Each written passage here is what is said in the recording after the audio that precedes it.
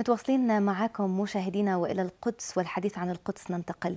تواصل دولة الاحتلال الإسرائيلي تعدياتها الصارخة بحق الأماكن التاريخية والحضارية وسائر المعالم الأثرية الدالة على إسلامية مدينة القدس وعروبتها. من خلال عمليات تهويد ممنهجة طالت أكثر الأماكن قدسية، ما يطرح العديد من الأسئلة، لماذا هذه الهجمة المستعمرة التي ازدادت حدتها بعد حصول فلسطين على صفة العضو المراقب في هيئة الأمم المتحدة وأيضا عضو كامل كامل العضوية لمختلف المؤسسات الأممية ذات الصلة بالتراث العالمي وضرورات الحفاظ عليها من من أخطار التهويد الإسرائيلي. هذا هو موضوع نقاشنا بهذه الفقرة ويسعدنا الحديث أكثر عن هذا الموضوع. أن يكون معنا من داخل الاستوديو أمين عام اللجنة الوطنية للتربية والثقافة والعلوم السيد إسماعيل تلاوي. الله يصبحك بالخير. صباح الخير لك سيدتي وصباح الخير لأهلنا الصامدين في مدينة القدس والمرابطين في المسجد الأقصى. كيف تصف عمليات التهويد اللي مست بالأماكن التراثية والتاريخية لفلسطين خاصة بالمرحلة الأخيرة؟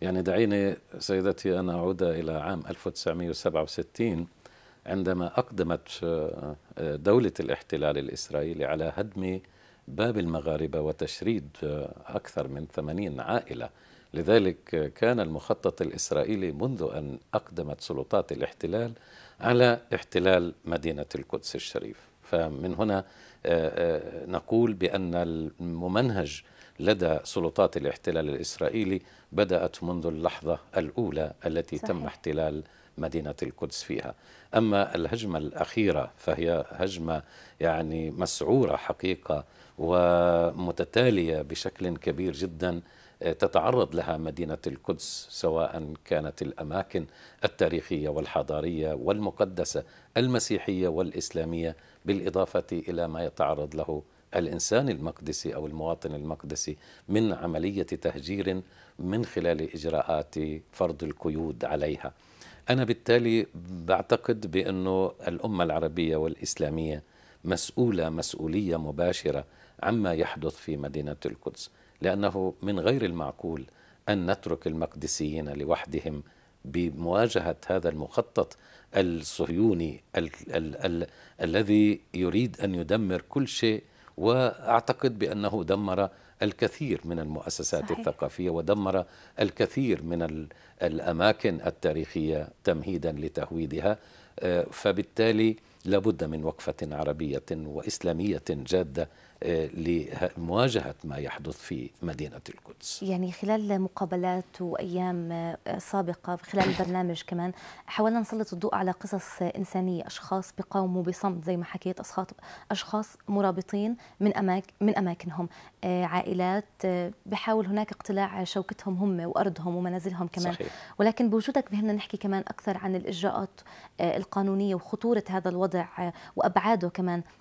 من هون يعني كمان آه، بنحكي عن آه، آه، يعني تعويل على المدن الدول عفوا العربية والإسلامية منذ سنين طويلة وهناك على الأرض ما في إجراءات ولكن دورنا إحنا خاصة إنه إحنا موجودين هلأ كعضو مراقب في الأمم المتحدة لدينا عضوية كاملة بالتحديد في اليونسكو اللي هي يعني تدعي أنها صحيح. تؤمن بقدسية المكان. يعني ربما نكون أو أكون قد بدأت بمناشدة الأمة العربية والإسلامية وتحميلها لهذه المسؤولية بعد أن آه، اتخذت مجموعة كبيرة من القرارات أولا في اليونسكو منظمة الأمم المتحدة للتربية والعلم والثقافة وهي المعنية بحماية التراث الثقافي في جميع الدول الأعضاء.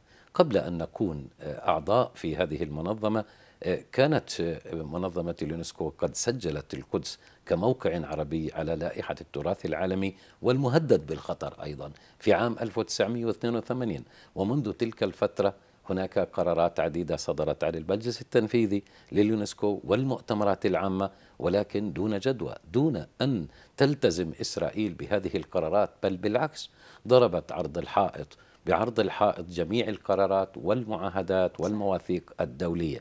فبالتالي جميع القرارات التي صدرت عن هذه المنظمة الدولية ومنظمات أخرى أيضا تدين وتستنكر هذه الإجراءات دون أن يتحرك المجتمع الدولي باتخاذ آلية تلزم سلطات الاحتلال بالتوقف سواء كان عن الحفريات التي كانت قد بدأت منذ عام 2007 تحت المسجد الأقصى مما أدى إلى انهيار بعض الأبنية المحيطة في المسجد الأقصى في عام 2010 فبالتالي هذه المنظمات الدولية التي نلجأ إليها بين الحين والآخر أعتقد حتى اللحظة لم تكن هناك قرارات يعني فعلية ومؤثرة تلزم إسرائيل بالتوقف عن هذه الانتهاكات. حتى منذ صباح يوم الثلاثاء الماضي الأسبوع الماضي بدأت الجرافات الإسرائيلية الثقيلة بإزالة بعض الأبنية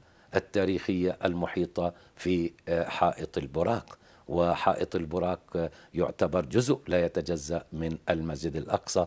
وبالتالي ضمن المخطط الإسرائيلي هناك مخطط لبناء كنيس في في عند حائط البراق بالإضافة إلى مكاتب للشرطة ومكاتب إدارية.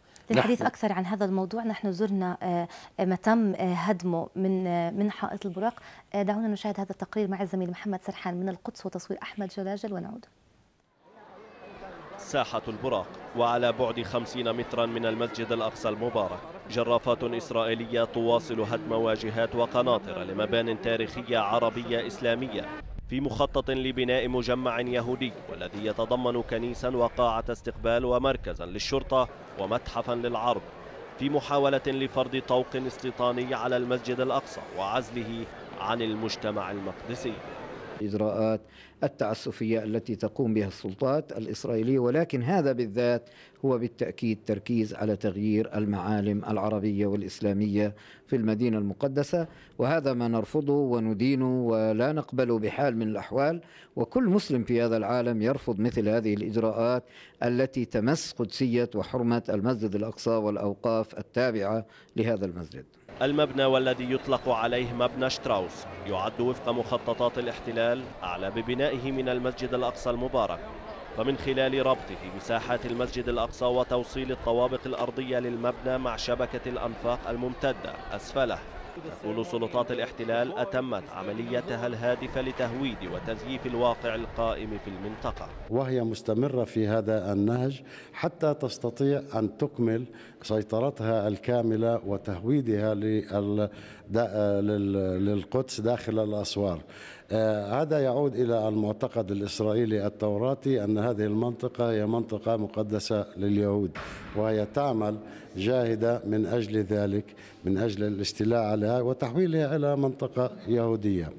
يعني إسرائيل لم تكف عن هذه المحاولات منذ عام 67 إلى اليوم. ويرى مراقبون أن عملية الهدم جاءت لطمس المعالم والآثار الإسلامية بالاعتداء عليها تارة وهدمها بشكل متعمد تارة أخرى. فمحاولات الاحتلال لمحو الهوية الإسلامية والعربية لمدينة القدس لم ولن تتوقف. محمد سرحان لقناة الفلسطينية القدس المحتلة. ما ك... يعني ما هو الرد الذي كان بناء على هدم حائط البراق من قبلنا نحن كجهة يعني فلسطينية؟ يعني نحن في اللجنة الوطنية الفلسطينية حقيقة تحملنا مسؤولياتنا منذ اللحظة الأولى التي علمنا فيها بهذه الحفريات والتدمير فخاطبنا ثلاث منظمات دولية وعلى رأسها المنظمة الدولية للتربية والعلم والثقافة اليونسكو وطلبنا من سفيرنا الفلسطيني لدى اليونسكو أن يتقدم للسيدة إيرينا بوكوفا المدير العام طبعا لهذه المنظمة بأن تقوم باتخاذ إجراء يعني يلزم إسرائيل بصراحة. لكن كما ذكرت لك حقيقة أن هذا الموضوع يحتاج إلى ردة فعل قوية مصحوبة بقرار ذو ذا ذو ذو آلية تلزم إسرائيل. بالإضافة إلى ذلك أرسلنا طبعا رسائل للمنظمة العربية للتربية والثقافة والعلوم أليكس ولجامعة الدول العربية والمنظمة الإسلامية أيضا وكان سيادة الأخ الرئيس أبو مازن حتى أثار هذا الموضوع في المؤتمر القمة الإسلامي الذي عقد في القاهرة وانتهى في بيان يعني صدر عن هذا المؤتمر وأدان موضوع تدمير هذه الأبنية. لكن كل ذلك أعتقد أنه لا يكفي. لا يكفي بأن تصدر عن هذه المنظمات قرارات فقط إدانة واستنكار وطلب ودعوة إسرائيل. لا تستجيب يعني بالضبط. لذلك تستمر إسرائيل كما ذكرتم في تقريركم منذ عام 1967 لم تتوقف إسرائيل عن هذه الانتهاكات التي تمس المكان والإنسان في داخل مدينة القدس. أستاذ أخيرا لنا ولكل المشاهدين كمان اللي بيحضرونا حابين نسمع منك أكثر عن الأهمية التاريخية لمثل هذا الحائط في مدينة القدس. أنا باعتقادي حتى ثورة البراق في عام 1925 أو 26 آه، تأك أو أكدت اللجنة التي آه، آه، رصدت ما قامت به بعض الجماعات اليهودية بأن حائط البراق جزء لا يتجزأ من المسجد الأقصى المبارك وهو مكان عربي. مكان عربي لا علاقة لليهود بهذا الموضوع. وبالتالي اتخذنا حتى قرار في آه، لجنة الخبراء المكلفين بإعداد تقارير فنية موثقة بالخرائط والصور. وبهذه المناسبة كنا بإعداد حوالي خمس تقارير حتى اللحظة نهاية عام 2012 عن كل ما قامت به إسرائيل. فبالتالي أهمية هذا المكان يعود بأنه مكان عربي ضمن التاريخ الذي رصد ذلك وأكدت عليه اللجنة البريطانية التي أكدت على أن حائط البراق هو جزء لا يتجزأ من المسجد الأقصى. ودعيني أقول نقطة مهمة جداً. في عام 1972 صدرت المعاهدة الدولية لحماية التراث الثقافي والطبيعي. لابد من اتخاذ يعني الآن وفي هذه اللحظات من اتخاذ قرار سياسي.